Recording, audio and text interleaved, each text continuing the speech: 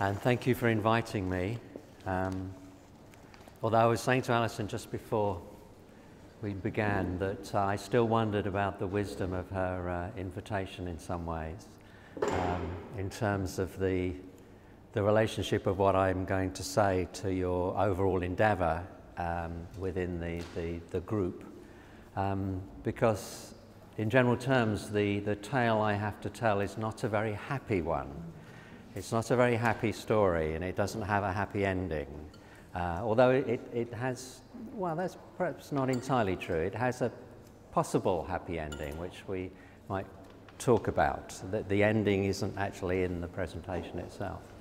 Um, but I hope there is something of interest and, and relevance um, to, to things that you're thinking about and perhaps aspects of your own experience. Uh, but we shall see. And I'm, um, I'm connected here, so I, I can only wander a, a certain distance uh, away from the, the podium. I know, I know, very, very appropriate in some ways. Some of you will know some of my work and some of my preoccupations and some of the influences that bear upon my work. And, and one of those influences that, that often bears uh, quite large on my work is, is Michel Foucault. And uh, Foucault's ideas, in various respects, particularly his ideas around what is truth, um, provides a kind of backdrop, a, a spine to, to, many of the things uh, I'm going to talk about today. And in many respects, I'm taking up one of uh, Foucault's key questions when he asks, What have we become? So I want to think about what I have become uh, as a neoliberal academic. Um, so, in some senses, I want to, I want to begin at least uh, by talking about myself and I realize there's a certain indulgence to that, but I think it is fundamental to the story that I want to tell. And um, Foucault often talked about his concerns as being related to his own experiences. So at one point in one of his many interviews, he says, that um, he often responded in his own work to something that was cracked, dully jarring, or dysfunctioning in things I saw in the institutions in which I dealt with my relations with others. And a lot of what I want to say today is to do with discomforts around my relations and dealing with others in the institutions in which I work and operate. And he also said that, um, describing his work more generally, that each of my works is part of my own biography. For one or other reason, I had occasion to feel and live those things. And again, I'm talking about something that I feel and live and experience. And in my own career as, as an academic, um, I, I was invited to write a paper recently about my, my intellectual biography. And initially I thought, why would I want to write that? But actually it became quite an interesting exercise. I quite enjoyed it. And what I talked about was my, my transformation from a, a welfare academic, my own uh, university experience was, was in a, what, what, what one might call a welfare university. So my transformation from a, a, a welfare academic to a neoliberal academic Although that transformation was also accompanied by a move from an elite university system to a mass university system. So it's not a, it's not a simple story in many respects. So, what this is about today is, is interrogating what I am. Um, and this leads to a further set of questions about practice and about life in the modern university, which I think Michel Foucault can help us with. And perhaps you can also think and use these ideas to think about what you might or might not become, or what you might or might not be, and who it is that you want to be in the contemporary university. So, in thinking about these things, um, I'm interested in a, in a complex set of relations between truth, governing, and I mean governing in Foucault's sense, that is the, the, the management of populations, if you like, how we are governed, economy and subjectivity, that is to say, who we are. And I think it's important to think about these things um, in, in two senses. I think neoliberalism always has to be thought of in, in two general senses. We have to think about neoliberalism as something that's out there. It's, it's a set of economic relations, it's a set of structural and um, governmental relations which organize institutions which provide uh, financial structures, which provide forms of exchange within which we operate. But it's also something that's in here, in the head and, and in the heart. That neoliberalism is about who we are. It's about constructing us as particular sorts of subjects. It's, it's about how we think about ourselves and our relations to others. So neoliberalism is not simply a set of economic relations, it's, it's a form of subjectivity. It's a way of life, a way of being uh, in the world. And one way I find very useful in thinking about this is uh, drawing upon the typology, a typology that's uh, constructed by an Italian uh, economist come social theorist called Maurizio Lazzarato. And he talks about neoliberalism as resting upon five states of being. And I'm going to use some of these uh, as uh, ways of, of, thinking about uh, the modern university and the modern uh, neoliberal subject as we go along. But his five states of being are, are individualization, inequality, insecurity, depoliticization, and financialization. And the, the first two, I think, in many ways are very straightforward, and we're very familiar with them as aspects of, uh, of neoliberal experience. The pressure towards uh, the individual as the focus of activity, uh, the uh, construction of the individual as a competitive, entrepreneurial, enterprising subject uh, who takes responsibility for themselves in relation to their work and their, uh, their life generally.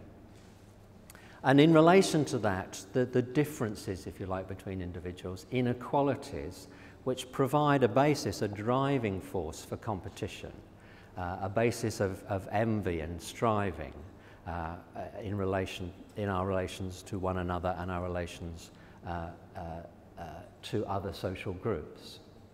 But alongside that, neoliberalism also produces other kinds of experiences and in particular insecurity, which is an increasingly a fundamental aspect of neoliberal experience, what's often come to, called now, uh, come to be called now precarity, the, the sense of precariousness.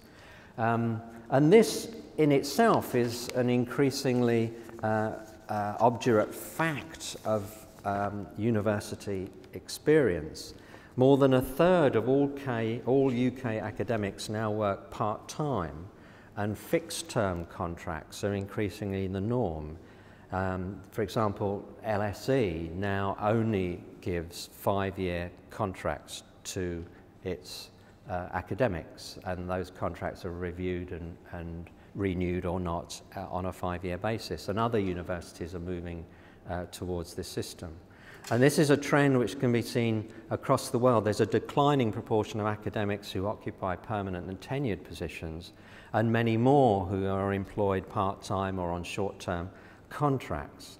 And indeed, uh, Bruce Macfarlane suggests that um, despite the benevolent image of universities, few employers, apart from perhaps the catering industry, have as many casual workers as do universities. But that insecurity goes even further, and I, it's something I'll pick up, upon, uh, pick up upon later. The insecurity which is related to the constant demand for performance, for measurement, for output of various kinds. And, and one of the points about performance is that it has no history, that performance is something that has to be achieved freshly each year in, in relation to each annual review or in a longer term process in relation to the university assessments, RAE, REF. Um, it, it increasingly doesn't matter what you did in the past, it matters what you're doing now in terms of your security, your, uh, your esteem, the esteem in which you're held by others. And I want to go on to, to pick up on depoliticisation and financialisation more specifically in relation to the things I'm going to talk about. But in a sense, they're, they're, uh, to start with at least, they're self-evident. Depoliticisation means the removal of the political from uh, our understanding of social processes and from our social relationships. And financialisation means the, the importation, the insertion uh, of financial relations into many aspects of our, of our working life. So I'm going to use that as, as my framework. Does that make sense, everybody? Yeah. Happy with that? As I say, I'll, particularly the last two, I'll unpack a little more uh, when they become relevant as we go along. So, in relation to all of that, um, I also want to think about the how of truth. Um, universities are, are quintessentially sites of truth. We are very much about the assertion of, of truth, the discovery of truth. Um, and research, even more specifically, is, a project of, of truth, uh, the assertion of particular truths which, are, which rest upon particular claims uh, and particular procedures. And the important thing to remember about, about Foucault's questioning about truth, he's, he's not concerned with what is true. And a lot of people, a lot of philosophers find that very difficult because most philosophy has a very strong normative basis to it. Um, Foucault's not interested in what is true, he's interested in the how of truth. And that is, he's interested in the system of truth and falsity itself. How do we establish what is to count as true? And what is to count as false? What are the systems and procedures and processes that allow us to make decisions about what counts as uh, true? And from his point of view, that's not a question to do with method, it's very much a question uh, to do with power and to do with politics. And as he says, nothing is true that is not the product of power. So, what I'm concerned with then is the ways in which we are, as academics, constrained and condemned or condemned to, to confess or discover the truth. And I want to take up both of those aspects. I want to think about issues related to the confession of truth, the truths we tell about ourselves, and to some extent the truths that are told about us but also the discovery of truth, um, which is the, the, the truths we tell about others, the truths we tell about the world, which brings us back to the issue of research and PhDs and research studentships.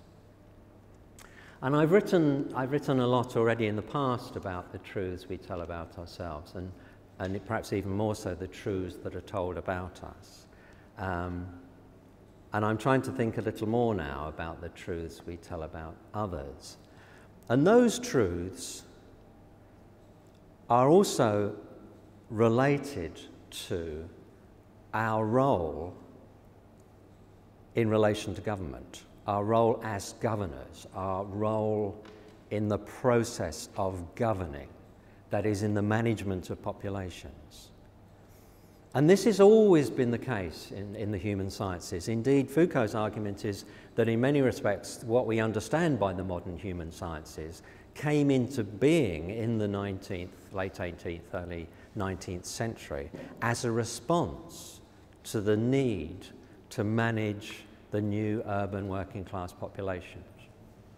And, and many of the bodies of knowledge, what he calls the human sciences, language, biology, um, uh, psychology, uh, sociology, social work, uh, sanitary engineering, all of those things in different ways as bodies of expertise had their initial raison d'etre in terms of this task of managing the population, bringing order and discipline to bear upon the city in particular.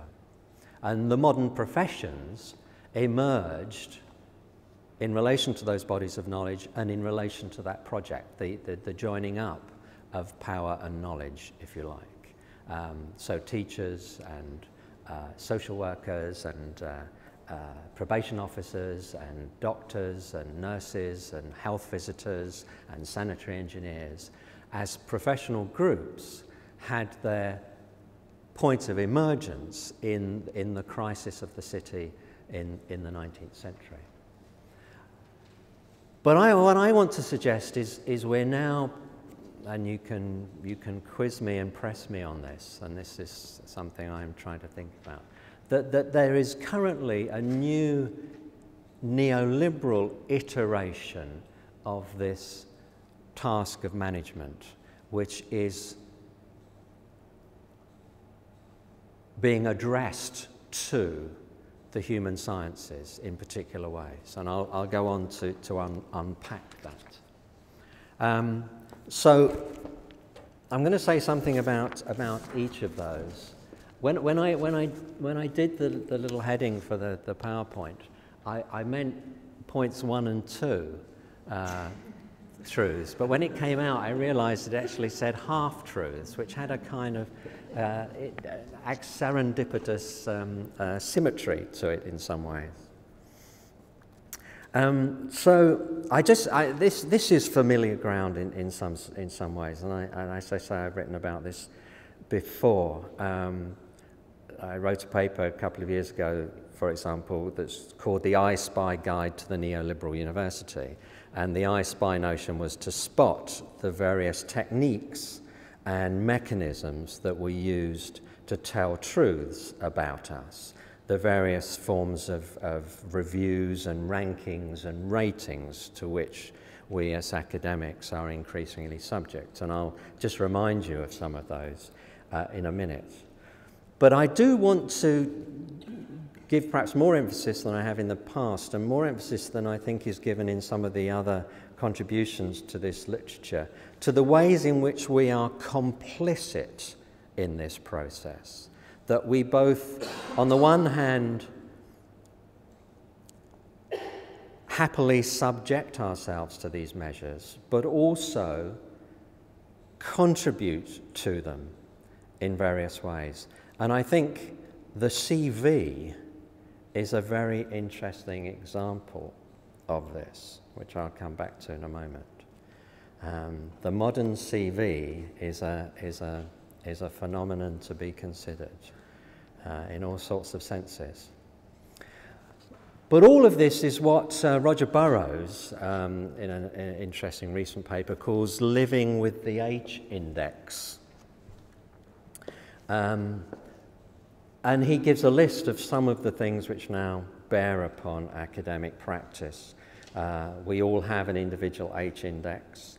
Um, I hadn't, until I was putting the paper together, um, looked at my H index, and I, I, I, didn't actually really quite understand what it was. I now know what my H index is. I'm still not sure I understand the math mathematics on which it is based. If anybody can, quite, it, it can explain it to me. My H index is 75. I don't know what yours One. is. um, I, have read, I've read the, the basis on which the, the, the metric is constructed, but I, re, I really don't still quite, quite grasp it, I have to say. Um, and it's named after a, a, Joel Hirsch who, who constructed it, that's why it's called the H index. Um, but there are, there are impact factors. Um, we, we have undergraduate teaching load calculations, uh, workload calculations, uh, PhD supervision loads and, and averages and, and goals for those, annual grants, income um, in relation to both departments and individuals. Um, our director was, was explaining to us, our head of department was explaining to us in my department at IOE the other day that that council had decided that they were setting a 5% target for uh, research income growth for the next three years. Um, we work within the, the framework of the, the RAE and the, the RAF, REF in various ways, and we can look at that by going to the FC website. We can download all the data for uh, universities and departments and individuals, and on and on. It goes on and on. There, there are immense a range of these, and, and increasingly there's a wide, a, a wide variety of different contributors uh, to this, different um, rankers. Uh, so now there are sort of, if you like, um, lay uh, rankers. This, sorry, this is, this is the explanation of the H index, um, which we don't really need to bother with. But um, uh, in the United States, and to some extent it's beginning here, Rate My Professor is now a very powerful website. And when I've done uh, tenure uh, track uh, um, refereeing recently for colleagues in the United States, some of them do quote their Rate My Professor rankings and quote from the website uh, the things that students uh, have said about them. So people are making use of these things. Uh, there's also the, the Best 300 Professors, which is another website. So we can strive to become one of the best 300 professors. We can set that as a goal for ourselves, uh, to, to make ourselves one of, one of those uh, uh 300. Um, and in all of this, we are involved in a, in a process of, of inflation uh, and perfection and, and impact. Um, we're expected to make the most of ourselves, become one of the, the top 300, uh, improve our H index factor, uh, make sure that our REF um, publications uh, get uh, three and four scores rather than one or two scores. Um, that in, in, in our everyday life and in increasing variety of ways, we're incited and hailed to recognize ourselves in the terms of these measures and indicators. And to the extent that we respond to that hail, to the extent to which we fill in the form, answer the email, put pressure on ourselves to do better, put in another research application, then we are submitting ourselves to their tender mercies. These are regime, regimes of truth that make self recognition possible. They're grids of intelligibility, as Judith Butler would put it which offer us forms of recognition, forms of, of making ourselves intelligible. So they encourage us to think about ourselves uh, in these terms, in their terms. And the extent to which we take this seriously and the extent to which this, this inserts itself into um, our everyday practice, we, we are increasingly encouraged to fabricate ourselves in relation to some or all of these measures in different ways. And, and the CV, I think, is, is a particularly uh, highly developed form of such fabrication. Um, when, when I first started in universities and uh, university work and for a long time, CVs tended to be a, a two or three page enterprise, which roughly sketched out some of the things that you had done. Um, they now routinely run to 40 or 50 pages when you get applications for jobs, applications for promotion. And they consist of a whole variety, both of narratives of different kinds, this is who I am, this is what I do, this is what I've done. This is me as a scholar, this is me as a teacher, this is me as an administrator, this is me making contributions to my intellectual community. And here are a set of measures which give an indication of how effective I am in those respects. Here is my score on Rate My Professor. Here is my position on Microsoft academia. Here are the number of PhD students I've completed. Here are the number of PhD examinations I've done. Here are the number of uh, external examiner roles I've played. Here are the number of uh, positions I've held in, in terms of committees uh, that I've chaired. Uh, here are my publications. Here are the reviews I've written. Here are some quotations from people who are reviewing a book I've written. These things are put together to construct a version of us which is fabricated for the purposes of a gaze of some kind. It may be the gaze of the promotion committee, the gaze of the appointment committee, the gaze of the annual reviewer. And in a sense, this is a form of what uh, Haggerty and Eric Ericson call a data double. It, it's a fabrication which is, which is both who we are and not really quite who we are because we're always more than that. Uh, and perhaps we're always not quite that. Um, maybe that, that, that double is actually more than who we are. Um, but it is, it's not quite who we are. So it, it accompanies us, it, it, it, it goes with us as we move through university life. And of course, it, it grows and, and, and expands and uh, gets even longer as we accumulate more things that we can record about ourselves. It, it, it travels, it adheres to us, as Haggerty and Ericson uh, put it.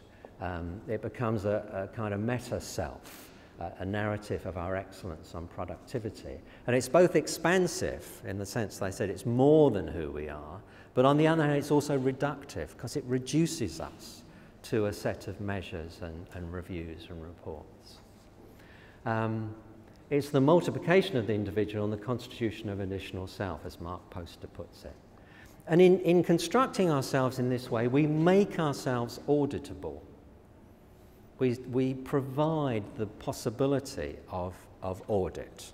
We offer up our numbers and our, our, our record of ourselves. Um, but we also in, inflate ourselves. We make ourselves perhaps more than we, than we are, more than we might be. Um,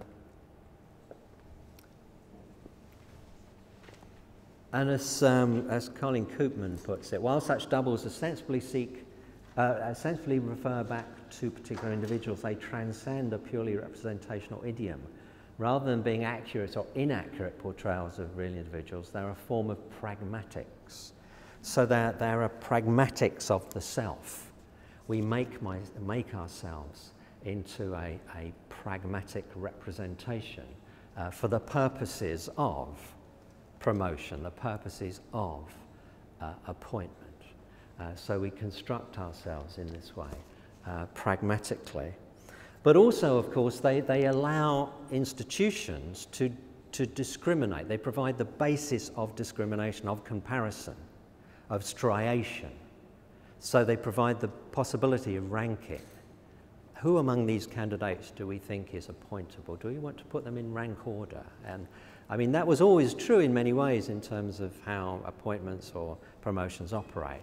Uh, but now this has become increasingly a technical process. And of course, you could make an argument that that perhaps is fairer and more democratic and erases things like um, uh, institutional racism, institutional sexism, and replaces those with more objective basis of decision making in, in terms of measures and indicators. As Foucault says, not everything is bad, but everything is dangerous.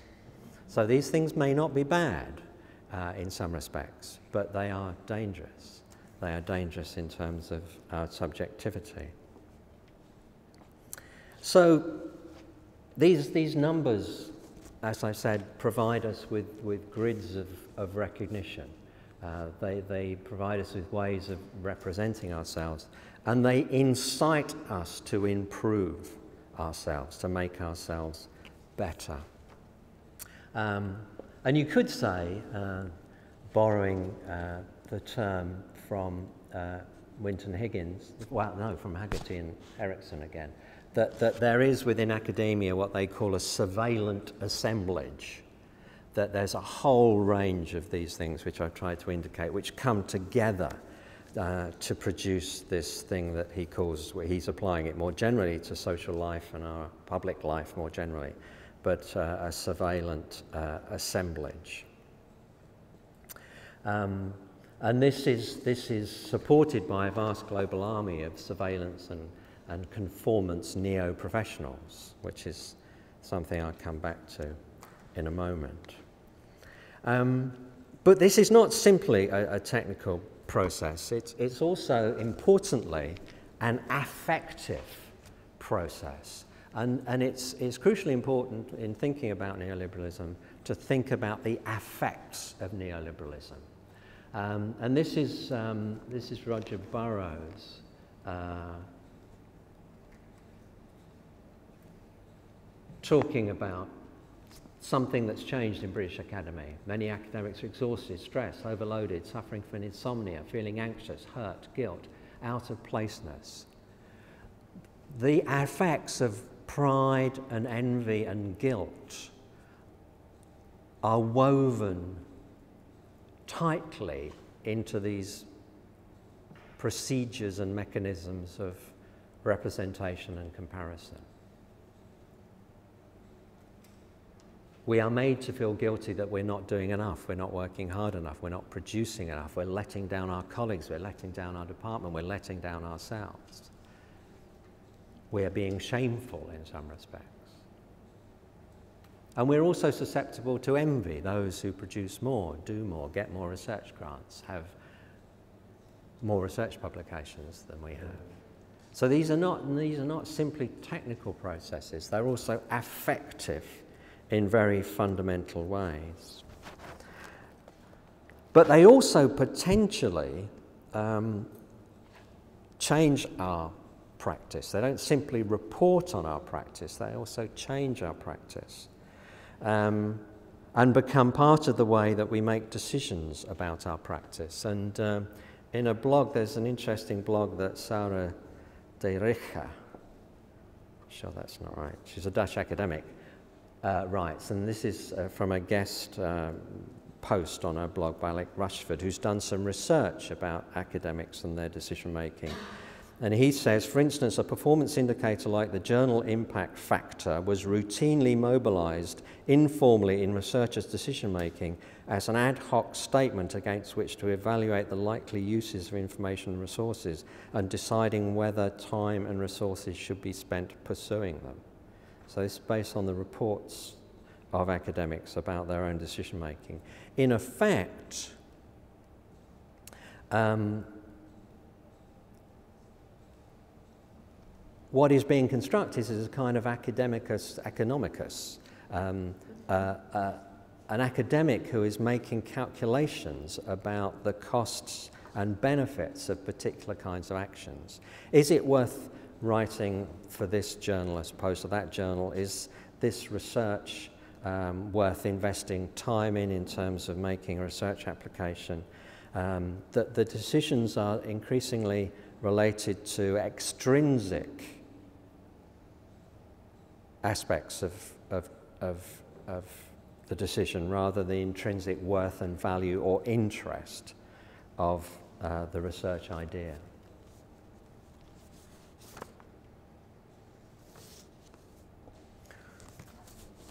So these, these, are, these are the truths we tell about ourselves and the truths that are told about us. And then I want to go on now to talk about the truths we tell about others. Um, um, and I, I, I, want to think about whether, whether we are becoming um, what Nikolas Rose called grey scientists, and I'll come back to that later. And whether there is now something that we might call neoliberal research. Um, Raewyn Connell, uh, example, recently wrote, We've not yet fully assimilated the profound consequences of the neoliberal turn for the basic project of education. So this is going back to the point that, that neoliberal or neoliberal systems of comparison and measurement don't simply report and record what it is we do, but actually are involved in changing what it is that we do, changing the nature of our project, our educational project, and our research project. He goes on to say, she goes on to say, the wider effect of neoliberalism on the knowledge base is an increasing technicization of knowledge and knowledge production. And I want to try and um, explore that, test that out.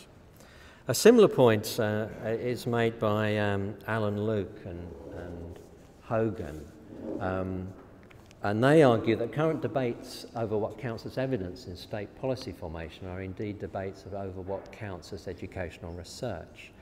Um, so this comes back to the issue of what, it, what counts as truth um, and what counts, therefore, as research in relation to the neoliberal project. Um, and this brings me back to the point that I mentioned at the beginning that I'm interested in the extent to which we as academics are contributing both to the, the, the productivity requirements of the neoliberal economy, economy but also the, the, the requirements of government, the, the management of the population. And in that respect, perhaps the nature of research is changing to adapt itself uh, to those requirements. And as always, um, in relation to particular kinds of expert knowledge, research knowledge, or research techniques, um, these provide a language as well as procedures for thinking about and talking about uh, what goes on in the world. And as Nikolas Rose puts it, in analyses of democracy, a focus on numbers in particular is instructive. We've already talked about some sorts of numbers. For it helps us turn our eyes from the grand texts of philosophy to the mundane practices of pedagogy, of counting, of information and polling, and to the mundane knowledges of grey sciences that support them. And these, these grey sciences are, are also what use another, coin another term, what, what Koopman calls info-political practices. Um, these are mechanisms and truths um, which are used to characterize, organize, and discriminate in relation to the population to make decisions. They're used as a basis for making decisions in relation to the population. And in particular, I think we can think about this in relation to teaching. And one of the core elements of this, of course, is, is a focus on, on what works. Um, as Winton Higgins puts it, these, these new truths, these neoliberal truths, these truths of measurement and comparison and effectiveness of what works, uh, provide a discourse that suppresses re references to the effective strategic considerations that are embedded within them, things like power and control and self-interest, and instead enshrine themselves in references to things like progress and efficiency, best practice, expertise, professionalism, coordination, uh, and of course the common good. Um, and I'll try and give some examples of that in a moment. And uh, increasingly, um, whole fields of, of educational practice are now captured within uh, the regime of numbers um, at, at, certainly at both ends of compulsory schooling. Um, at the top end, um, GCSEs and GCSE performance um, is now riddled with uh, techniques of comparison and measurement in various ways, which are used to inform practice. Um, so schools now use varieties of forms of software to constantly monitor the performance of students, to make decisions about intervention, and to make decisions about who is worth investing in and who is not worth investing in in terms of those students you can move across the CD boundary. So these things become a basis both for discrimination, striation, categorization, and for investment, if you like, financialization. So an, it becomes another form of financial decision making in terms of where we would best, where it would be best to use our resources in terms of time, money, and effort in relation to certain sorts of students, and where it's not. Uh, an economy, what I've called elsewhere, an economy of student worth. And this sort of data work, um, the collection, production, management, analysis, interpretation, maintaining of flows of data are now, Kelly and Downey puts it, part of everyday life in modern learning, knowing organisations. Um, and when I use the quotation like that, it, it suggests that Kelly and Downey are, are, are, raising this as a critical issue. But in fact, the book that it's drawn on is how best to use data to inform teaching and learning in, in your school. Uh, and in that respect, it's, it's interesting. And all, all in more general terms, this is, this is talked about by various writers, um, uh, Jenny Ozga, uh, Sotiria Grek, uh, Bob Lingard, Sam Sellar, and others as governing by numbers. Uh, the, the use of numbers by governments and by institutions uh, to organize, uh, control, manage uh, their populations in variety of ways. And these numbers become truths which are diffused and consumed, um, and they are produced and transmitted in, under the control, dominant if not exclusive, of a great, a few great political and economic apparatuses. Obviously, the state and its organisations, universities themselves, but increasingly commercial organisations. And there's another financialisation embedded in this, which is a lot of this is profitable you, you can make a lot of money out of ranking and measurement and comparison. And a lot of commercial organizations are now involved in this. Um, organizations like Microsoft and McKinsey and Pearson, but also things like the WS World University rankings. Uh, they're actually money-making enterprises. Uh, they're not simply there to provide information, they're also there to generate income for their their owners, if you like. Um, this also led to, to, to, to, me looking myself up on Microsoft Academia, um, but modesty prohibits me from telling you what I found there. But it's, it's interesting in, in terms of if you log in um, and you can find a lot uh, about yourself. There are things that I didn't know about myself on Microsoft Academia. Um, but again, the point, the point is that this is, this is a money-making enterprise. And of course, um, there are also uh, other kinds of organizations like the OECD who makes a lot of money, people often forget, but they make a lot of money out of PISA. They don't do it out of their goodness of their heart. If you want to be in PISA, you have to pay for it. You have to pay to be PISA'd.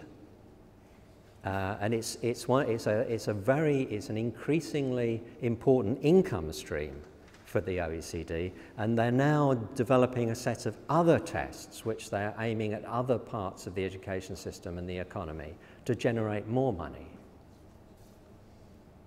And that tends to be wiped out as well when we talk about these things. It's all about uh, you know, effective measurement, but it's, it, it's, this is a financial issue.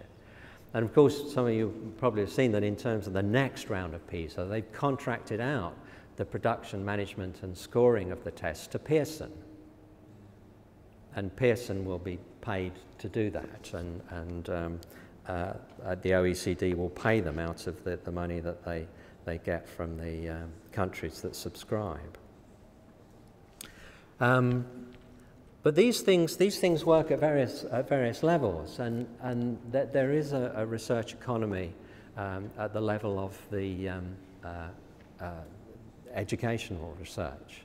Um, and things like this, this is from the, the Centre for Effective Education at the University of, sorry, no, this is, this is the Educational Endowment Foundation toolkit. So, the, so DFID now, uh, DFID, the Department for Education now uh, channels most of its research funds into the Education Endowment uh, Foundation, together with money that comes from various philanthropic sources. Um, and the work of the foundation is, is based upon particular types of research, um, randomized controlled trials and, and experimental models of research. And those are the, the, the, the sorts of truths that they're interested in. And this is, this is justified in terms of its usefulness um, on, on a financial basis. Um, we know that the relationship between spending and pupil outcomes is not simple. Between 1997 and 2001, per pupil spending uh, increased by 85%, but over this period, improvements in pupil outcomes were marginal in most measures. At school level, it is clear that different ways of spending school budgets can have different impacts on pupil attainment, and choosing what to prioritise is not easy.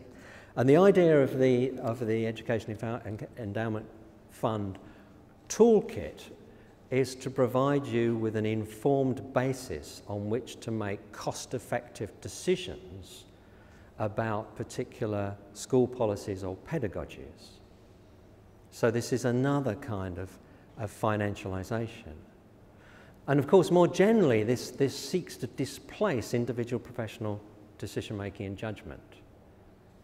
That rather than making a decision based upon judgment around a particular group of pupils, a particular location, a particular set of needs, you are encouraged to draw down the data and the outcomes of research from the website uh, and make decisions on the basis of, of that material provided uh, for you.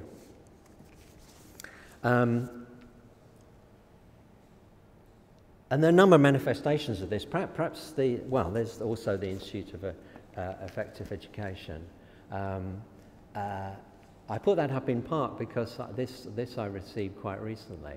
Um,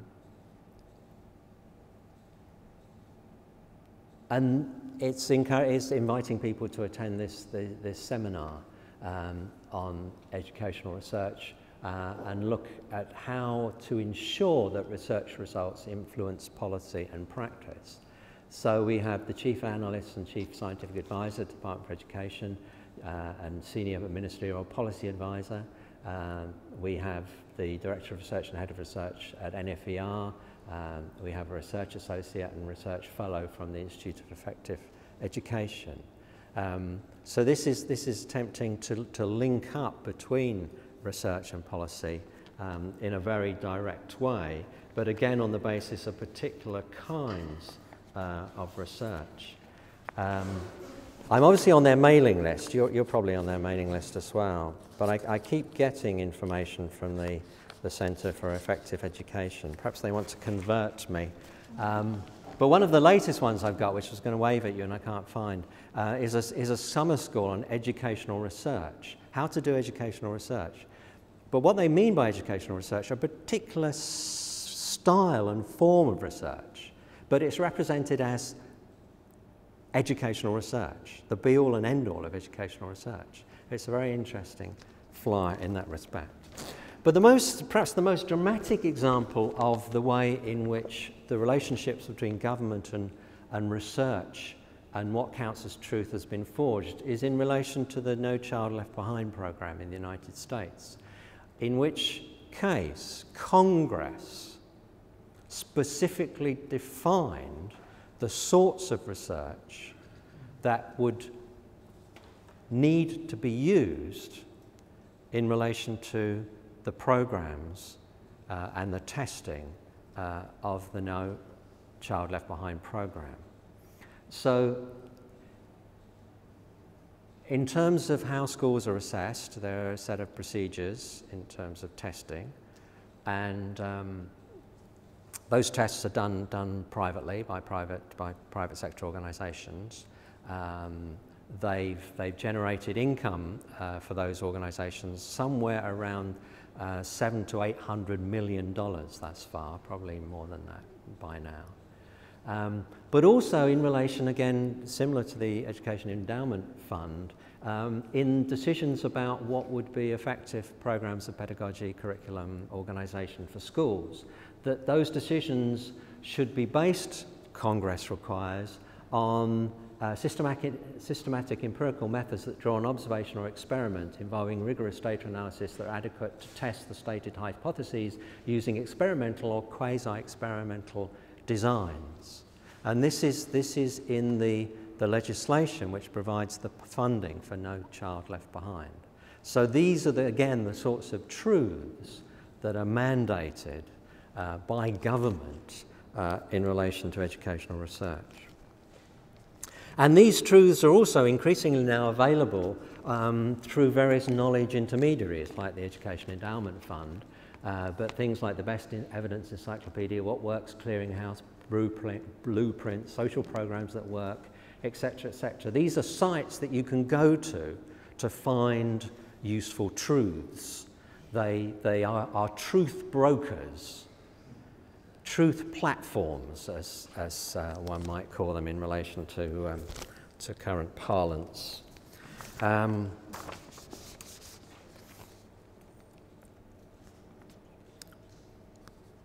and all of this, all of this um, involves a, a dramatic depoliticization of the research enterprise. So standards, accountability, measurement are represented as matters of technical efficiency, rigorous experimental design, rather than normative choices. It's part of what uh, Diane uh, Stone calls the, uh, the rationality project of policymakers. The decisions are reduced to rational technical procedures and the political, the normative, uh, is erased.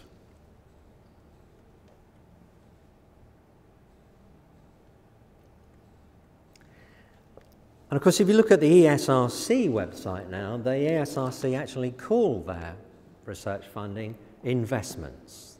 They now invest in research. They don't fund it, they invest in it. And of course, what they're looking for is returns, and increasingly the returns are articulated in terms of impact. Um, and this, if, I'm sure you're all aware of this, this is not old-fashioned impact like how many people cite your research or whether you go and talk about it at conferences. Impacts in the current iteration are real changes in social and economic practices in the world, changing the way in which people behave. So the impact narratives that were acquired as part of the RAE um, exercise had to demonstrate real world changes as the result of research. Not publications, not conferences, not citations, but behavioural change. So, in all of this, coming to an end, miss out some of this, um, that there is a very complex research economy. Um, so, as researchers, we, we earn income directly or indirectly for our, our university. So, we, we improve the budgetary position of our department, our university. We improve, secondly, our outputs and impacts in, the ways, in ways that contribute to our evolving meta self in terms of our research income and the, uh, uh, the publications that we generate on, on the basis of this. And of course, they can be retranslated into income through things like REF, uh, because the higher the score you get, then the more funding you get from HEFCE uh, uh, on the basis of the RAE ranking and judgments about uh, performance of each department in each subject in each university in the country. But also, there's another economic and financial aspect to this in that we contribute to the efficiency of business and government in making or saving money or driving up performance or quality. So, in relation to schools, we can drive up standards. And those standards, as we know, because we're constantly told this by people like Michael Gove and David Cameron, relate directly to the international competitiveness of the British economy in relation to the global market. So we're contributing on a number of levels uh, to, the, to the economy. And we're participants in a number of ways in the economy. In effect, um, going back to Lazzarato, we, we, we become fractions of capital ourselves. The individual, the institution, our social relations become modelled on, he says, microcosms of the business, organised upon the individual's function as a molecular fraction of capital. And this, of course, relates back to the way in which we make judgments about the costs and benefits of our activity.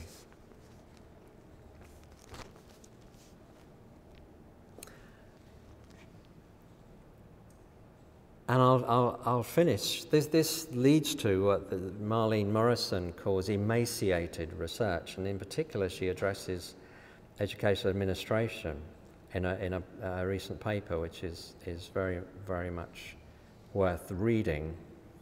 Um, but I finish with uh, a blog written by Ansgar Allen, who's the University of Sheffield, um, the op- Open Democracy website. Um, he writes there regularly. Um, and I, I finish with it because I, I like it, but it makes the point. He says, under the economic yoke of advanced liberalism, today's university is distinguished not by its greyness and economic subjugation, but by a gaudy prolif- proliferation of colour. It has become the rampant breeding ground of jobbing academics in search of the next big idea. Despite the bottom line mentality that besets it, where institutional coffers must be serviced before all else, economic restrictions are swiftly transformed into entrepreneurial opportunities, available only to those bold enough to reach out and grasp them. The perverse greed of this grasping hand, which in many cases is already in receipt of significant funds, is rarely remarked. And he goes on to talk about more about the grasping hand. So that's my, that's my thesis. Um, and it's up to you now to decide whether it has any merit or not.